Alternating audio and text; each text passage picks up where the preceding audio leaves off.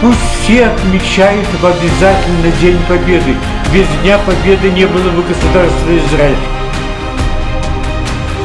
Сегодня мы отмечаем особенный день, э, День спасения и освобождения, э, который по инициативе Германа Захаряева отмечается по всему миру. И в этом году мы первый раз э, в Махон Мире, в нашем институте в Иерусалиме, отметили это всеми учащимся.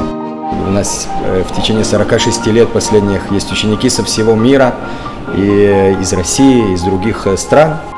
И в этот день мы должны благодарить Всевышнего.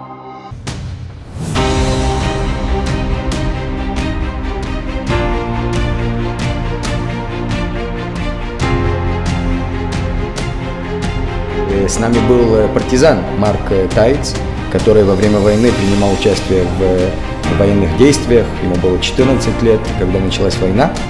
И таким образом мы помним всех солдат, 500 тысяч солдат, которые погибли, евреев, которые погибли, погибли во время Второй мировой войны. И, и благодаря им, в конечном счете, мы удостоились того, что у нас есть и государство Израиль, и мы будем отмечать на следующий день День Иерусалима. Э, поэтому и дальше мы планируем принимать активное участие в праздновании этого дня э, в Иерусалиме.